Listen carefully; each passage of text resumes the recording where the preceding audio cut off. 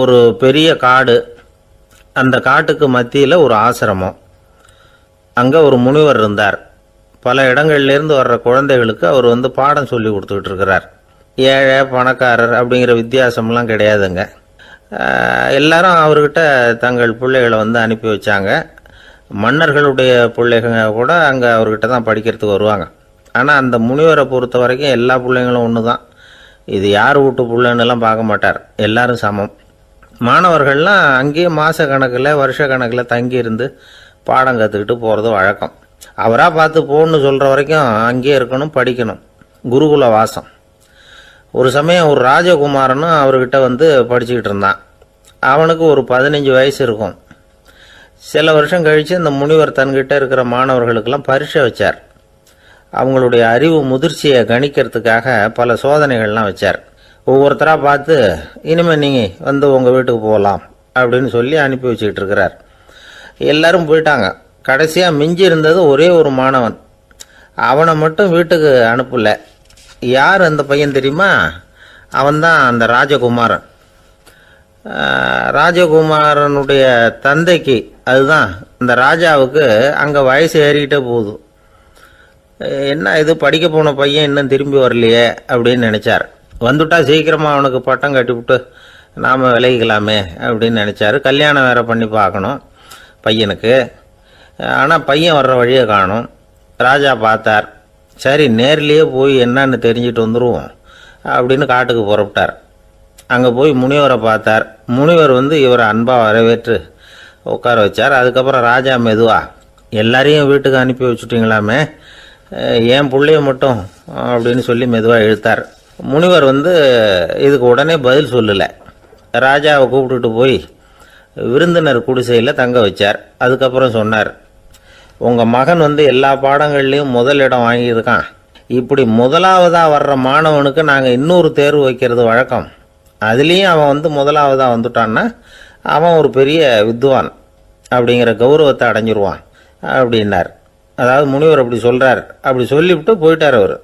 ராஜா அங்கேயே தங்கிட்டார். ராத்திரி படுத்து தூங்கினார். காலையில் எழுந்திருச்சு அந்த குடிசைக்கு வெளியில் வந்தார் பல்லு விளக்கறதுக்காக. அந்த சமயத்தில் தூரத்தில் ஒருத்தன் ஒரு கையில் கோடாலியை வச்சுக்கிட்டு தலையில் ஒரு பெரிய விறகு கட்டை சுமந்துக்கிட்டு வந்துக்கிட்டு இருக்கிறது மாதிரி தெரிஞ்சது. யாராவது விறகு வெட்டியாக இருக்கும் அப்படின்னு நினச்சார் ராஜா. கிட்ட வந்ததும் உத்து பார்க்குறாரு பார்த்தா அது தன்னோட புள்ள. திகைச்சு போயிட்டார். என்ன இது ஒரு ராஜகுமாரனை கூட இது மாதிரி வேலையெல்லாம் செய்ய சொல்கிறாங்களே அப்படின்னு நினச்சார். ராஜகுமாரன் வந்து விறகு கட்டை கொண்டுகிட்டு போய் கொல்லை பக்கம் வச்சான். அந்த சமயம் முனிவர் அங்கே வந்தார். என்ன மகனே விறகு வெட்டிட்டு வந்துட்டியா? சரி இப்போ வந்து ஒரு துடைப்பத்தை எடுத்துக்கோ. விருந்தினர் குடிசையின் வாசல் பக்கத்தை கூட்டி பெருக்கி சுத்தம் பண்ணுப்போ அப்படின்னார். அப்படியே செய்கிறேன் குருவே அப்படின்னு சொல்லிவிட்டு போனான். சுத்தம் பண்ண ஆரம்பிச்சிட்டான். ராஜா பார்த்தார் இதை. உடனே ஓடியாந்தார். மகனே என்ன காரியம் பண்ணுற தொடப்பத்தை கீழே போடுனார் இப்போ அந்த ராஜகுமாரன் சொல்கிறான் தந்தையே இது வந்து என்னுடைய குருதேவரோட உத்தரவு. இங்கே வந்து நான் ஒரு மாணவன். இங்கே அரசனும் ஒன்று தான் ஆண்டியும் ஒன்று தான் குருதேவர் சொல்கிறத மறுக்காமல் செய்கிறது தான் எங்கள் கடமை அப்படின்னா. இந்த சமயம் முனிவர் அங்கே வந்தார். இவனை வந்து முதுகில் தட்டி கொடுத்தார்.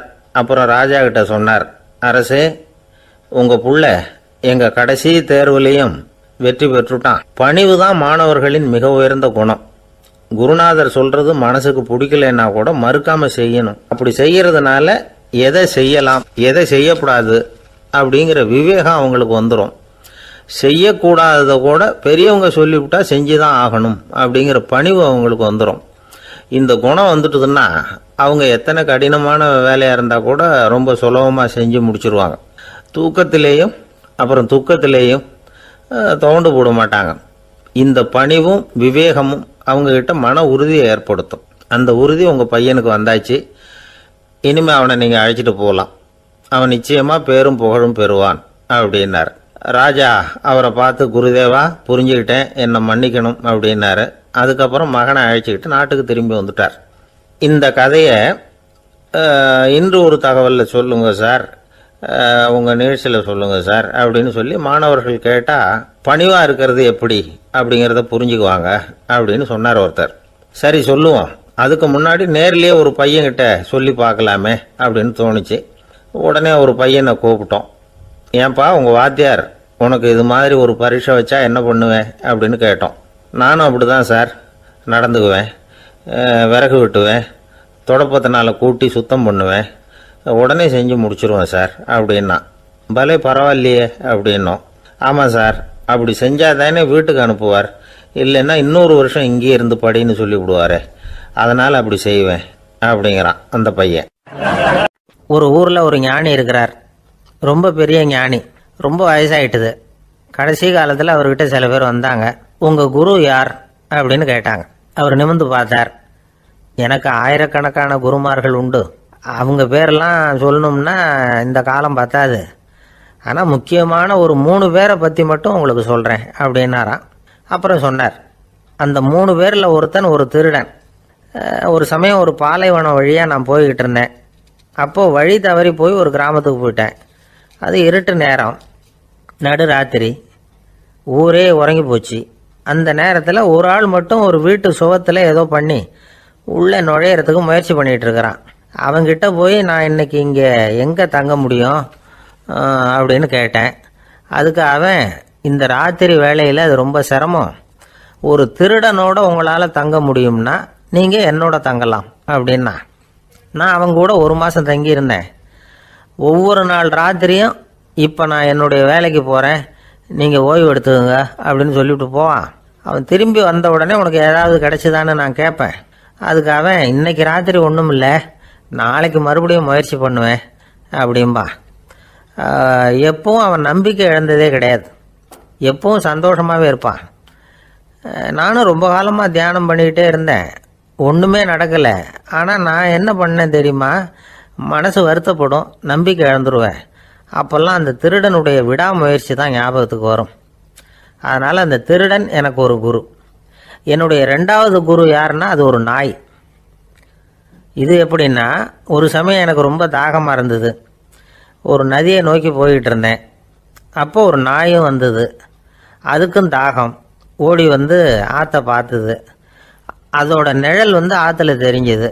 அதை பார்த்ததும் பயந்துட்டுது அது. அதாவது அது தன்னுடைய சொந்த உருவத்தையே கண்டு பயந்தது. அதை பார்த்து குறைக்குது. திரும்பி ஓடிச்சு. ஆனால் அதுக்கு தாகம் அதிகமாக இருந்ததுனால அது மறுபடியும் திரும்பி வந்தது. பார்த்தா மறுபடியும் தண்ணியில் நாயோட உருவம் தெரியுது. இப்படி சில தடவை பண்ணிச்சு இருந்தாலும் கடைசியில் தண்ணியில் குதிச்சுட்டுது துணிஞ்சி. இப்படி குதித்த உடனே அதோட உருவமும் மறைஞ்சுட்டுது. இதை பார்த்தேன். நான் என்ன புரிஞ்சுக்கிட்டேன்னா எவ்வளவு தான் பயம் இருந்தால் கூட ஒருத்தன் தைரியமாக காரியத்தில் இறங்கணும் அப்படிங்கிறத புரிஞ்சுக்கிட்டேன். இந்த போதனை அந்த நாய்கிட்ட இருந்து எனக்கு கிடைச்சிது. இது ஒன்று அடுத்தது என்னுடைய மூன்றாவது குரு யாருன்னா அது ஒரு சின்ன குழந்தை. நான் ஒரு சமயம் ஒரு நகரத்துக்கு போனேன். அங்கே ஒரு குழந்தை எரிகிற மெழுகுவத்தி ஒன்று எடுத்துக்கிட்டு வந்தது. நான் அந்த குழந்தைய பார்த்து வேடிக்கையாக கேட்டேன். ஏன் பாப்பா இந்த மெழுகுவத்தியை நீயாவே கொளுத்துனியா? அப்படின்னு கேட்டேன். ஆமான்னுது அந்த குழந்தை. சரி இந்த மெழுகுவத்தி முன்னாடி எரியாமல் இருந்தது இப்போ எரியுது. இந்த மெழுகுவத்திக்கு வெளிச்சம் எங்கேருந்து வந்தது? அதை எனக்கு காட்ட முடியுமா? அப்படின்னு கேட்டேன் அந்த குழந்தைகிட்ட. இதுக்கு அந்த குழந்தை சிரிச்சுக்கிட்டு அந்த மெழுகுவத்தியை ஊதி அணைச்சுட்டுது. அதுக்கப்புறம் என்னை பார்த்து கேட்டது இப்போ இந்த மெழுகுவத்தியின் வெளிச்சம் போனதை பார்த்தீங்க இல்லையா? அது எங்கே போச்சுன்னு எனக்கு சொல்லுங்க அப்படின்னுது. அந்த குழந்தை இப்படி கேட்டதும் என்கிட்ட இருந்த ஆணவம் அழிஞ்சுட்டுது. நான் படித்ததெல்லாம் அந்த வினாடியில் சுக்கு நூறாக போயிட்டுது. என்னுடைய முட்டாள்தனத்தை நான் உணர்ந்தேன் அப்படின்னு இவ்வளவும் அந்த ஞானி விவரமாக சொன்னாராம். அதனால் நாம் இன்னார்கிட்டே இருந்து தான் இதை கற்றுக்கணுங்கிறது இல்லை யாருக்கிட்ட இருந்தும் எதையும் கற்றுக்கலாம் நம்மால் ஒருத்தன் ஒரு நாய் வளர்த்துக்கிட்டோம்னா அந்த நாய்க்கு வால் கிடையாது. யாரோ ஏற்கனவே வெட்டி எடுத்துட்டாங்க. இந்த நாய் தான் சார் எனக்கு குரு. அதுக்கிட்டே இருந்து கூட நான் பாடம் கற்றுக்கிட்டு இருக்கிறேன் அப்படின்னா அப்படி என்ன கற்றுக்கிட்டேன் இந்த வால் இல்லாத நாய்கிட்டே இருந்து அப்படின்னு கேட்டோம். நாம் யாருக்கிட்டேயும் வாலாட்டக்கூடாது அப்படிங்கிற பாடத்தை அதுக்கிட்டே இருந்து தான் நான் கற்றுக்கிட்டேன் அப்படின்னா. ஒரு ஊரில் ஒரு பெரிய ஞானி இருந்தார். அவர் படுக்கையில் இருந்தார். இன்னும் கொஞ்ச நேரம்தான் அவர் இந்த உலகத்தில் இருக்க போகிறார் அவரை சுற்றி ஏகப்பட்ட கூட்டம். ஏற்கனவே அவருடைய உபதேசங்களை கேட்டவங்க பல பேர் வந்து அவரை சுற்றி நிற்கிறாங்க அந்த ஞானி மெதுவாக கண்ணை திறந்து பார்க்குறார். எல்லாரும் அவருடைய கடைசி வார்த்தையை கேட்கறதுக்காக அவளோட காத்துக்கிட்டு இருக்கிறாங்க. அந்த ஞானி மெதுவாக பேச ஆரம்பித்தார் நான் என்னுடைய வாழ்நாள் பூராவும் உங்களுக்கு நிறைய போதனைகள் சொல்லிக்கிட்டு இருக்கிறேன். பேரானந்தம் மகிழ்ச்சி தியானத்தன்மை இதை பற்றியெல்லாம் சொல்லியிருக்கிறேன். இப்போ நான் வேற ஒரு கரைக்கு போய்கிட்டுருக்கிறேன் நான் இனிமேல் இந்த கரையில் இருக்க மாட்டேன். நீங்கள் நான் சொன்னதையெல்லாம் கேட்டீங்க. ஆனால் எதையும் நீங்கள் வந்து நடைமுறைப்படுத்தி பார்க்கல. எல்லாம் கேட்டதோடு சரி. அதோடு விட்டுவிட்டீங்க அப்புறம் அதை தள்ளி போட்டுக்கிட்டே வந்துட்டீங்க. மேலே அதை தள்ளி போடுறதுல எந்த பிரயோஜனமும் கிடையாது. இப்போ நான் போய்கிட்டு இருக்கிறேன் உங்களில் யாராவது என்னோட வர்றதுக்கு தயாரா? அப்படின்னு கேட்டார். அவ்வளோதான் யாரும் வாய திறக்கல. ஒரே மௌனம். சத்தமே இல்லை. ஒருத்தர் ஒருத்தர் பார்த்துக்கிட்டே நிற்கிறாங்க அந்த கூட்டத்தில் ஒரு ஆள் அந்த ஞானி கூடவே நாற்பது வருஷத்துக்கு மேலே இருந்திருக்கிறான். அவனும் வாயை திறக்காமல் இன்னொருத்தன் முகத்தை பார்த்துக்கிட்டே நிற்கிறான் இந்த சமயத்தில் பின்னாடி நின்றுட்டு இருந்த ஒருத்தன் கையை தூக்கினான். ஞானி அவனை பார்த்தார். சரி ஒருத்தனுக்காவது நம்மோட வர்றதுக்கு தைரியம் இருக்குது அப்படின்னு நினச்சார். ஆனால் அந்த ஆள் என்ன சொன்னான் தெரியுமா? ஐயா நீங்கள் கேட்குறப்போ நான் உடனே எழுந்திருக்கல கையை மட்டும்தான் தூக்கினேன். என்ன காரணம்னா நான் எப்படி அடுத்த கரைக்கு வந்து சேர்றதுங்கிறது தெரிஞ்சுக்கிறதுக்காக தான் அந்த விவரத்தை மட்டும் இப்போ உங்ககிட்ட இருந்து நான் தெரிஞ்சுக்க ஆசைப்படுறேன். ஏன்னா இப்போ நான் உங்கள் கூட வர்றதுக்கு தயாராக இல்லை. எவ்வளவோ காரியங்களை நான் இன்னும் இங்கே முடிக்க வேண்டியிருக்குது. வீட்டுக்கு ஒரு விருந்தினர் வந்திருக்கிறார். என்னுடைய இளைய மகனுக்கு கல்யாணம் பண்ணி வைக்கணும். அதனால் இன்றைக்கி உங்கள் கூட வர முடியாது. அது மட்டும் இல்லை இப்போ உங்கள் கூட அடுத்த கரைக்கு வந்தால் திரும்பி வர முடியாதுன்னு வேறு சொல்கிறீங்க அதனால் இப்போ நான் வரல. இன்னொரு நாள் நிச்சயமாக நான் வர்றேங்க. வந்து உங்களை சந்திக்கிறேன். அதனால் இப்போ நீங்கள் இன்னொரு தடவை எங்களுக்கு விளக்கமாக சொல்லணும். ஏற்கனவே பல தடவை சொல்லியிருக்கிறீங்க. தயவு பண்ணி இப்போ ஒரு தடவை சொன்னீங்கன்னா சௌகரியமாக இருக்கும். அந்த அடுத்த கரையை அடையிறது எப்படி? இப்போ ஒரு தடவை அதை விளக்கமாக சொல்லிட்டிங்கன்னா நல்லா ஞாபகப்படுத்திக்குவேன். அது சரியான சமயம் வர்றப்போ இது எனக்கு உதவியாக இருக்கும் அப்படின்னு நானும் ஆனால் உண்மை என்ன தெரியுமா? அந்த சரியான சமயம் வரவே இல்லை அப்படிங்கிறது தான் உண்மை. இப்படி அந்த கதை முடியும். இந்த கதை வந்து அந்த ஒரு ஆளுக்கு மட்டும் இல்லை கிட்டத்தட்ட எல்லாருக்குமே அது பொருந்தும் அப்படிங்கிறாங்க விவரம் தெரிஞ்சவங்க.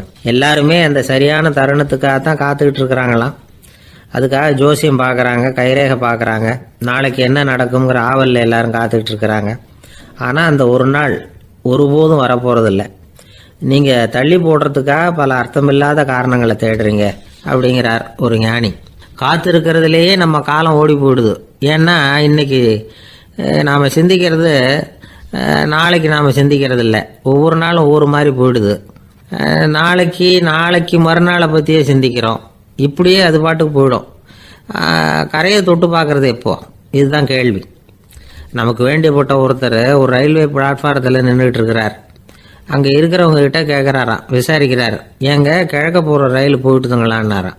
போயிட்டுதுன்னு இருக்கிறாங்க கொஞ்ச நேரம் கழிச்சு எங்கே மேற்க போகிற ரயில் போயிட்டுதுங்களான்னு கேட்டிருக்காரு. போயிட்டு இருக்காங்க அப்புறம் கொஞ்ச நேரம் கழிச்சு மறுபடியும் ஏங்க பத்தரை மணி வண்டி போயிட்டுதான்னு கேட்டிருக்காரு. தொடர்ந்து காலையிலேருந்து சாயந்தரம் வரைக்கும் இப்படி ஒரே இடத்துல நின்றுட்டு கேட்டுக்கிட்டே இருக்கிறார். இதை பார்த்துக்கிட்டு இருந்த ஒருத்தர் அவர்கிட்ட வந்து ஏங்க நீங்கள் எங்கே போகணும்? அப்படின்னு கேட்டாராம். இவர் மெதுவாக சொன்னாராம் இந்த ரயில்வே லைனை தாண்டி அந்த பக்கம் போகணும் அப்படின்னாராம். ஒரு அரசனும் அமைச்சரும் ஒரு நாள் ரொம்ப சாவகாசமாக பேசிக்கிட்டு இருந்தாங்களாம். அரசன் அமைச்சரை பார்த்து ஒரு கேள்வி கேட்டிருக்கார். ஏங்க அமைச்சரே ஆசை இல்லாத ஒரு மனுஷனால இருக்க முடியுமா அப்படின்னு. ஏன் முடியாது? துறவி அப்படிங்கிறவங்கெல்லாம் அப்படிப்பட்டவங்க தானே அப்படின்னாராம் அமைச்சர். அவங்கெல்லாம் உண்மையிலேயே ஆசையை விட்டவங்க தானா அப்படின்னு கேட்டாராம் ராஜா. அப்படி தான் இருக்கணும் அப்படின்னாராம் அமைச்சர். அப்படின்னா ஆசையே இல்லாத ஒரு உண்மையான துறவியை நான் பார்க்கணுமேன்னார். அது என்ன பிரமாதம்? அதுக்கு நான் ஏற்பாடு பண்ணுறேன் அப்படின்னு விட்டார் இவர். சொல்லிவிட்டு உடனே புறப்பட்டு போனார் அங்கே இங்கே தேடினார். அப்புறம் தான் அவருக்கு புரிஞ்சுது உண்மை துறவியை கண்டுபிடிக்கிறது எவ்வளவு கஷ்டமான காரியம்னு. இருந்தாலும் ராஜா கிட்ட சொல்லியாச்சே உண்மை துறவியை காட்டுறேன்னு. இப்போ என்ன பண்ணுறது ராஜா கிட்ட சொன்னபடி நடக்கலைன்னா அவருக்கு கோவம் வந்துடும் அமைச்சர் ஒரு யோசனை பண்ணார். அவருக்கு ஒரு வழி தெரிஞ்சுது. அதுதான் சரின்னு முடிவு பண்ணார். அதாவது அந்த ஊரில் அவருக்கு தெரிஞ்ச நாடக நடிகர் ஒருத்தர் இருக்கிறார். நல்லா நடிப்பார். அவரை போய் பார்த்தார். இதை பாருப்பா எனக்காக நீ ஒரு காரியம் செய்யணும்னார். என்னன்னு கேட்டார் அவர். நீ ஒரு துறவி மாதிரி கொஞ்சம் நேரத்துக்கு நடிக்கணும். ராஜா வந்து உன்னை பார்த்துட்டு போகிற வரைக்கும் நடி. அது போதும். அதுக்காக உனக்கு பத்தாயிரம் ரூபா தரேன் அப்படின்னார். அவர் எந்த காலத்தில் இவ்வளவு பணத்தை மொத்தமாக பார்த்துருக்கார்? அதனால் உடனே சரின்னு ஒத்துக்கிட்டார். அமைச்சர் வந்து அரண்மனைக்கு திரும்பி வந்தார். என்ன அமைச்சரே? இன்னுமா ஒரு உண்மையான துறவி கிடைக்கலன்னார். உண்மையான துறவி ஒருத்தரை இப்போ தான் கொஞ்ச நேரத்துக்கு முன்னாடி பார்த்து பேசிவிட்டு வர்றேன். அவர் நம்ம ஊருக்கு வெளியில் குளத்தங்கரையில் உள்ள ஒரு ஆலமரத்துக்கு அடியில் உட்காந்துருக்கிறார் அப்படின்னார் இவர். அப்படின்னா உடனே புறப்படுங்க அப்படின்னார் ராஜா. பரிவாரங்களோடு புறப்பட்டார். அங்கே அந்த மரத்தடியில் அந்த ஆள் வேஷம் போட்டுக்கிட்டு துறவி மாதிரி உட்காந்துருக்கிறான் ராஜா நேராக போனார். அந்த துறவி காலில் பொத்துன்னு விழுந்து வணங்கினார். உடனே ராணி அவர் காலில் விழுந்தாங்க. அடுத்தபடியாக அமைச்சர் விழுந்தார். அவருக்கு தெரியும் இது நம்ம ஆள் தான்னு இருந்தாலும் என்ன பண்ணுறது நேரம். அப்புறம் பரிவாரங்கள்லாம் துறவி காலில் விழுந்து ஆசீர்வாதம் வாங்கிட்டாங்க. ராஜா அப்புறமா தங்கத்தட்டில் பொண்ணையும் பொருளையும் வச்சு அந்த துறவிகிட்ட ரொம்ப பணிவாக நீட்டுறார். தாங்கள் தயவு பண்ணி இதை ஏற்றுக்கணும் அப்படின்னு வேண்டிக்கிட்டார். அந்த துறவி பற்றில்லாமல் அதை பார்த்தார். எல்லாத்தையும் திறந்துட்ட எனக்கு இதெல்லாம் எதுக்காக? அப்படின்னு சொல்லி அதை மறுத்துட்டாரான் ஆஹா உண்மையான துறவியை பார்த்துட்டோம் அப்படிங்கிற ஆனந்தம் அரசருக்கு. ரொம்ப நிம்மதியாக திருப்தியாக திரும்பி வந்தார் அரண்மனைக்கு. அதுக்கப்புறம் அமைச்சர் யாருக்கும் தெரியாமல் அந்த துறவிகிட்ட ஓடினார். சொன்ன பிரகாரம் பணத்தை நீட்டினார். இந்தப்பா நான் உங்ககிட்ட சொன்னபடி பத்தாயிரம் ரூபா பணம் எடுத்துக்கோ அப்படின்னார். அந்த ஆள் ராஜா கிட்ட சொன்னது மாதிரியே எல்லாத்தையும் திறந்துட்டோம் எனக்கு இதெல்லாம் எதுக்காக? வேணாம் அப்படின்னு விட்டாராம் நடித்த வரைக்கும் போதும்ப்பா இனிமேல் இந்த நாடக வசனம்லாம் வேணாம். வேஷத்தை கலைச்சிரு பணத்தை வாங்கிக்கொன்னார். இல்லைங்க இது வேஷம் இல்லை இது வசனமும் இல்லை. இது உண்மை. கொஞ்ச நேரம் துறவி மாதிரி நடித்ததுக்கே இந்த தேசத்து ராஜா ராணி அமைச்சர் பரிவாரங்கள் எல்லாம் என் காலில் விழுந்து வணங்குறாங்க. அப்படின்னா உண்மையான துறவியாக இருக்கிறது எவ்வளவு பெருமையான விஷயம். நான் உண்மையான துறவியாக ஆக போகிறேன் அப்படி முடிவும் பண்ணிட்டேன் அப்படின்னார் அந்த நடிகர். வேஷம் கூட எப்படிப்பட்ட விளைவுகளை உண்டு பண்ணுது பார்த்தீங்களா நம்மால் ஒருத்தன் ரொம்ப வசதியாக தான் இருந்தான். ஒரு நாள் அவன் சொத்து பூரா திருட்டு போட்டுது அதுக்கப்புறம் இவன் துறவி மாதிரி ஆயிட்டான். ஊர் ஊராக சுற்றினான் ஒரு குருநாதரை தேடி கண்டுபிடிச்சான். அவர்கிட்ட சீடனாக சேர்ந்துக்கிட்டான். அவனை பார்த்து ஒருத்தர் கேட்டார் நீ உண்மையான சீடன் தானான்னு? இல்லைங்க சீடன் மாதிரி நடிச்சுக்கிட்டு இருக்கிறேன் அப்படின்னா அது குரு துரோகம் இல்லையா? அப்படின்னு கேட்டார் அவர். இல்லைங்க நான் பண்ணது குரு துரோகம் இல்லை. என் குரு பண்ணது தான் துரோகம். என்னுடைய பணத்தை கொள்ளையடிச்சது இவர் தான் அதை எங்கே வச்சிருக்காருன்னு கண்டுபிடிக்கிறதுக்காக தான் இவர்கிட்ட வந்து சீடனா சேர்ந்துருக்கிறேன். அப்படின்னானா. ஒரு நாள் காலை நேரம் ஒரு குரு படுக்கையை விட்டு எழுந்திருக்கிறார். உடனே சீடர்களை பார்த்து எல்லாரும் இப்படி வாங்கங்கிறார். எல்லாரும் வர்றாங்க வேகமாக என்னங்க வேணும் உங்களுக்கு? அப்படிங்கிற மாதிரி எல்லாரும் குருவை பார்த்தாங்க பயபக்தியோட. குரு அந்த சீடர்களை பார்த்து இதை பாருங்க இப்போ நான் ஒரு சிக்கலான விவகாரத்தில் மாட்டிக்கிட்டு இருக்கிறேன். அதை நீங்கள் தீர்த்து வச்சா நல்லதுன்னார். சீடர்களுக்கு ஒன்றும் புரியல. என்ன இது? இவர் இப்படி சொல்கிறாரு நமக்குள்ள எல்லா விவகாரங்களையும் தீர்த்து வைக்கிறவர் நம்ம குருநாதர். அவருடைய விவகாரத்தை நாம தீர்த்து வைக்கிறதா? ஆச்சரியமாக இருக்குது. குருநாதருக்கே சிக்கலா? அப்படின்னு யோசனை பண்ண ஆரம்பித்தாங்க இருந்தாலும் ரொம்ப பணிவாக கேட்டாங்க. சுவாமி உங்களுக்கே சிக்கலா? இந்த உலகத்து சிக்கல்களுக்கும் சிரமங்களுக்கும் அப்பாற்பட்டவர் அல்லவா தாங்கள்? அப்படிப்பட்ட உங்களுக்கு சிக்கல்னா அது எப்படி? அப்படின்னாங்க. எனக்கு ஏற்பட்டிருக்கிற சிக்கல் அவ்வளவு பெருசு. ரொம்ப பெரிய விவகாரம் அது அப்படின்னார் குரு. கொஞ்சம் விவரமாக சொல்லுங்க அப்படின்னாங்க இவங்க. இப்போ அந்த குரு விவரத்தை சொன்னார். அதாவது நேற்று ராத்திரி நான் ஒரு கனவு கண்டேன். அந்த கனவில் நான் ஒரு பட்டாம்பூச்சியாக மாறிட்டேன். அப்படி மாறி ஒவ்வொரு மலராக பறந்து போய் உட்காந்து தேன் சாப்பிட்டேன் அப்படின்னார். சீடர்கள் இதை கேட்டதும் ரொம்ப தகைச்சு போயிட்டாங்க. என்ன இது? இது ஒரு பெரிய பிரச்சனையா? ஒரு சாதாரண கனவு கண்டதுக்காகவா இந்த காலை வேளையில் நம்மளையெல்லாம் குருநாதர் இவ்வளவு அவசரமாக கூப்பிட்டுருக்கார் அப்படின்னு நினச்சாங்க. இருந்தாலும் கேட்டாங்க இதில் என்ன சிக்கல் சுவாமி? கனவுங்கிறது எல்லாருக்கும் வரத்தானே செய்யும்? அப்படின்னார் ஒரு சீடர். சீடர்களே பிரச்சனை அது இல்லை. நான் இன்னைக்கு காலையில் கண்ணு முழிச்சு பார்த்தப்போ நான் வந்து நானாக மறுபடியும் மாறிட்டேங்கிறத தெரிஞ்சுக்கிட்டேன். இதில் சிக்கல் என்னன்னா இப்போ அந்த பட்டாம்பூச்சி தான் நானாக ஆயிட்டதாக கனவு கண்டுகிட்டு இருக்கா அப்படிங்கிறது தான் ஒரு மனுஷன் பட்டாம்பூச்சி ஆகிறதாக கனவு காண முடியுங்கிறப்போ அந்த பட்டாம்பூச்சியும் மனுஷன் ஆகிறதாக கனவு காண முடியும் இல்லையா? இப்போ எனக்கு யதார்த்த நிலை தெரியணும். எது நிஜம்னு தெரியணும். நேற்று ராத்திரி நான் கண்டது கனவா? அல்லது இது பட்டாம்பூச்சி கண்டுகிட்டு இருக்கிற கனவா? இதுதான் குரு கேட்ட கேள்வி. இதை கேட்டதும் சீடர்கள் ரொம்ப குழம்பி போயிட்டாங்க. சுவாமி இது வரைக்கும் நாங்கள் தூங்குறப்ப பார்க்கறது கனவுன்னும் மூழ்கிட்டு இருக்கிறப்ப பார்க்கறது நனவுன்னு நம்பிக்கிட்டு இருக்கிறோம். இப்போ எங்களை ரொம்ப குழப்பிட்டீங்க. இதுக்கு பதில் சொல்ல எங்களுக்கு சக்தி இல்லை அப்படின்னு சொல்லிவிட்டாங்களாம். அதுக்கப்புறம் அந்த குரு சொன்னாராம். நினைவு தான் முக்கியமான அம்சம். முடிவு கட்டம்னா பகலின் நினைவுகளை விட இரவின் கனவுகளே ரொம்ப உண்மை. ஒருத்தன் வந்து தூங்க போனால் தூங்கிக்கிட்டே இருந்தா அவன் காணும் கனவு பொய்ங்கிறத அவன் உணர மாட்டான். ஒவ்வொரு கனவும் காணும் பொழுது அது ரொம்ப உண்மையாக தான் தெரியுது. ஒரு கனவு கூட உண்மை இல்லைன்னு கனவுல தோன்றுவதே இல்லை அப்படின்னார் குரு. அகில வாழ்வு அத்தனையும் சொற்பனம் கண்டாய் அப்படிங்கிறார் தாயுமானவர். ஆகையினால நம்ம கனவுலேருந்து நாம் என்னைக்கு முழிச்சிக்க போகிறோம் அப்படிங்கிறது தான் ஒரு முக்கியமான கேள்வி. ஒருத்தர் வந்தார் காலில் கட்டோட வந்தார். என்னங்க காலில் கட்டுன்னு? சார் நேற்று ராத்திரி தூக்கத்தில் எங்கள் வீட்டு கூரையில் ஏணியை சாத்தி வச்சு இறங்கினப்போ வழுக்கி விழுந்து காலை உடச்சிக்கிட்டேன்னார் உங்கள் வீட்டில் தான் ஏணியே கிடையாது சார் அப்படின்னு. உண்மைதான் சார். நான் கீழே விழுந்து முழிச்சுக்கிட்டதுக்கு அப்புறம் தானே ஏணி இல்லைங்கிறது எனக்கு ஞாபகம் வந்தது அப்படின்னார். பக்தின்னு சொல்கிறோம் இல்லையா? அது வந்து மூன்று வகைப்படும் அப்படிங்கிறார் ஒரு பெரியவர். அது என்ன? மூணு வகைன்னா தெய்வ பக்தி அடியார்கள் பக்தி குரு பக்தி. அடியார் பக்தியை விட தெய்வ பக்தியை விட குரு பக்தி தான் ரொம்பவும் சிறந்ததுங்கிறார் அவர். தெய்வத்துக்கிட்ட செஞ்ச பாவம் குருநாதர்கிட்ட தீர்ந்துருமா? குருநாதர்கிட்ட செஞ்ச பாவம் தெய்வத்துக்கிட்ட போனாலும் தீராதான். இப்படி பெரியவங்களாம் சொல்லி வச்சுருக்கிறாங்க. ஒரு காடு அங்கே அயோத தௌமியர் அப்படின்னு ஒரு தபோதனர். அவர் பல மாணவர்களை ஒன்றா சேர்த்து ஒரு குருகுலம் நடத்திக்கிட்டு இருக்கிறார் பல தரப்பட்டவங்க பல திறப்பட்டவங்க மாணவர்கள் அதில் சேர்ந்து படிச்சுக்கிட்டு இருக்கிறாங்க பாஞ்சால ராஜகுமாரன் ஒருத்தனும் அந்த குருகுலத்தில் சேர்ந்து படிச்சுக்கிட்டு இருக்கிறான் அவன் பேர் ஆருணி. பெரிய இடத்து புள்ள. இருந்தாலும் படுப்பில் ரொம்ப கெட்டிக்காரனாக இருந்தான். அவன் தான் அங்கே முதல் மாணவன். ஒரு நாள் குருநாதர் அந்த அரசகுமாரனை கூப்பிட்டார். நம்ம குருகுலத்துக்கு சொந்தமான வயலில் தண்ணீர் பெருகி வெள்ளம் வந்து பயிரை வந்து அழிக்குதான். அதனால் நீ போய் மடையை அடைச்சிட்டு வந்துடும் அப்படின்னார். அந்த அரசகுமாரன் உடனே புறப்பட்டான். குருநாதர் சொல்லிட்டார்ல உடனே புறப்பட்டான். நான் பெரிய இடத்து பிள்ளையாச்சே ராஜகுமாரனாச்சே ரொம்ப செல்வாக்கூட வளர்ந்தவனாச்சே நான் போய் வயலில் இறங்கி வேலை செய்கிறதா அப்படின்னுலாம் அவன் நினைக்கல. குருநாதர் கட்டளையை நிறைவேற்ற வேண்டியது நம்ம கடமை அப்படின்னு நினச்சான். உடனே ஒரு மண்வெட்டியை தூக்கி தோளில் வச்சுக்கிட்டு புறப்பட்டு போயிட்டான். வயலுக்கு போனான் பார்த்தான் தண்ணி கரையை உடச்சிக்கிட்டு வயலுக்குள்ளே ஏகமாக பாஞ்சிக்கிட்டு இருக்குது.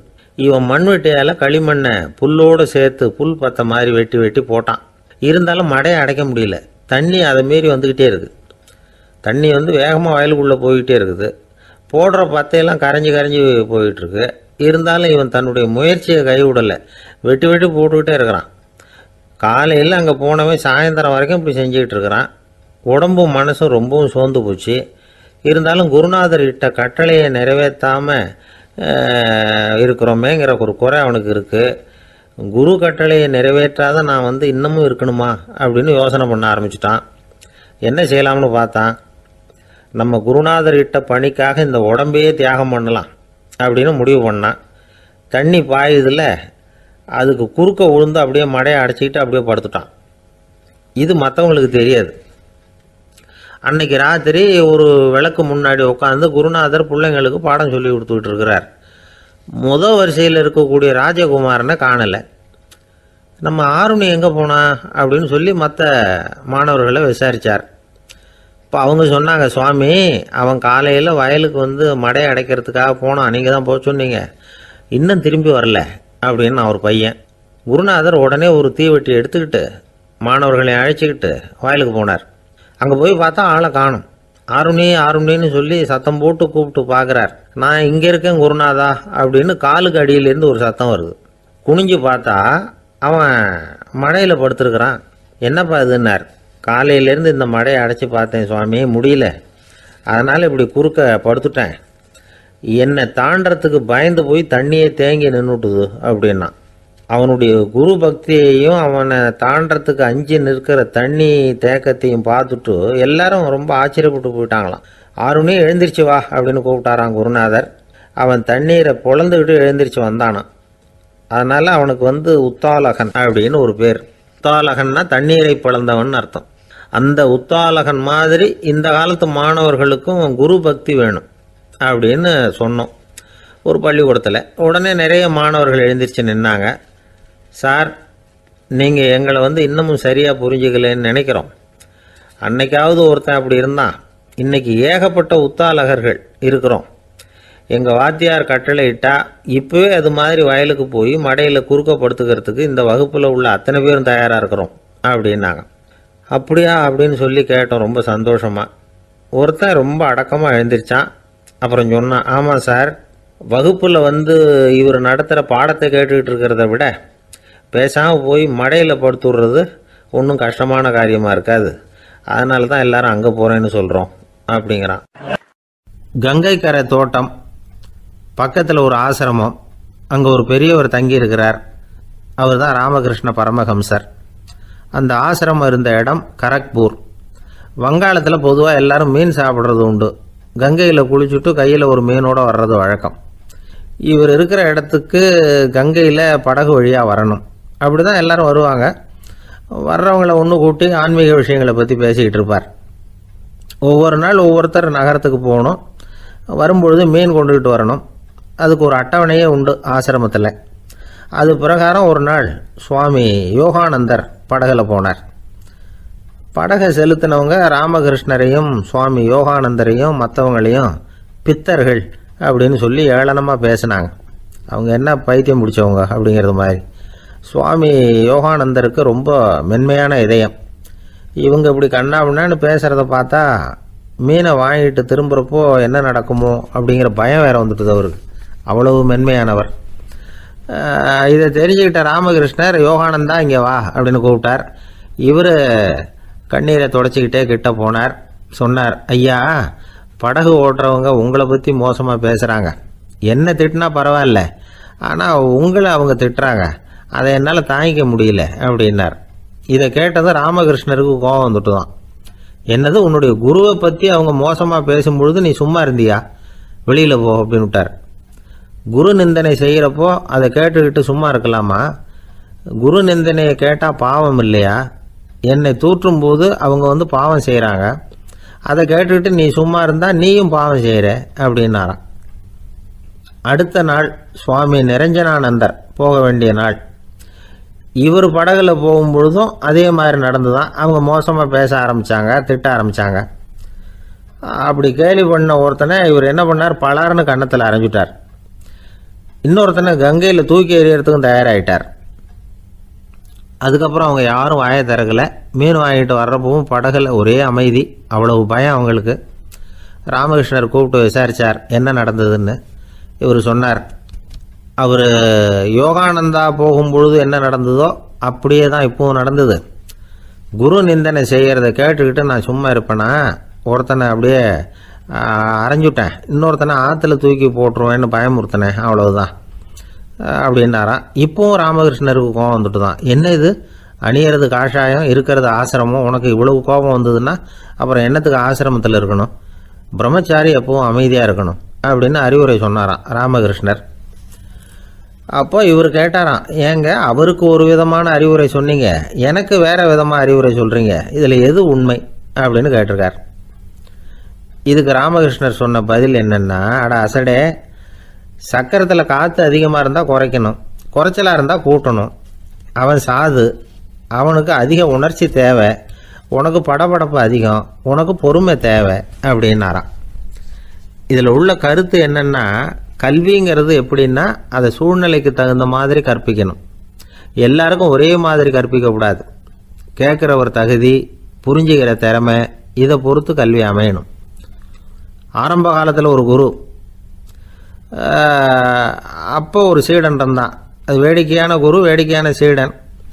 ஒரு ஆசிரமம். ஒரு நாள் ஒருத்தன் அவசரமாக அந்த குருவை தேடி வந்திருக்கிறான். என்ன விஷயம்னு விசாரித்தார் குரு? உங்கள் சீடர் என்னை வந்து அடிச்சுட்டார் அப்படின்னு புகார் பண்ணானா அந்த ஆள்.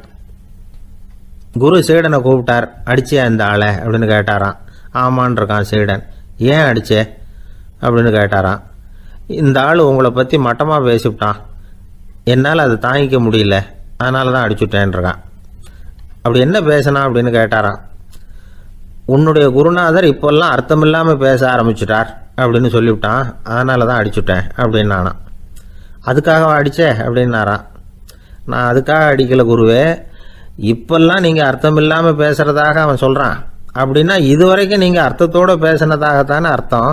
அது தப்பு தானே அதனால தான் அடித்தேன் அப்படின்னு நானாம்